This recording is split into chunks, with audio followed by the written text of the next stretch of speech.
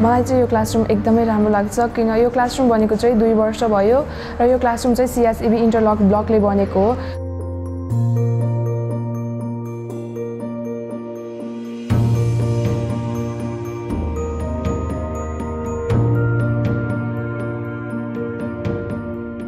The classroom is very uh, good and clean. It has got a suitable temperature in, in comparison to other classes. And it is made uh, out of uh, interlock brick.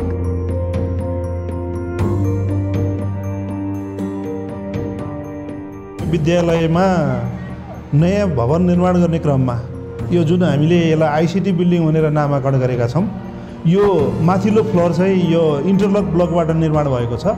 यो interlock ब्लकको चाहिँ धेरै फाइदाहरू हामीले महसुस गरेका छौँ।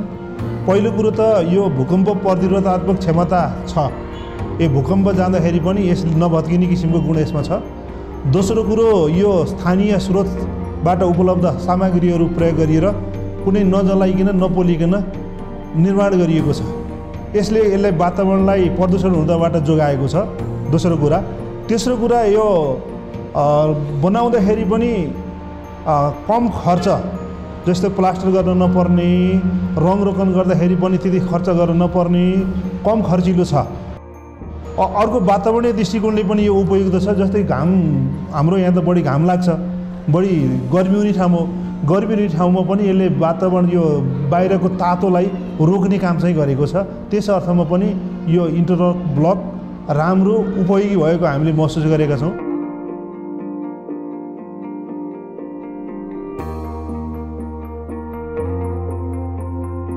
विद्यार्थीहरू पनि अब यसलाई यो यस्तो किसिमको बिल्डिङमा बस्दाखेरि राम्रो अनुभूति गरेको पाइएको छ।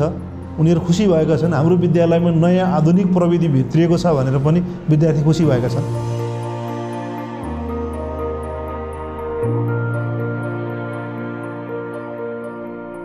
हामीलाई यो सिएचबी ब्रिक बनेको यो क्लासमा चाहिँ हामीलाई जाडो महिनामा न्यानो हुन्छ अनि गर्मी महिनामा चाहिँ चिसो बनाउने यो यसको एउटा चाहिँ एडभान्टेज छ। यदि कुनै स्कुलहरू अथवा कुनै यस्तो बिल्डिङहरू बनाउँदाखेरि चाहिँ I will prefer to use this CHB interlock brick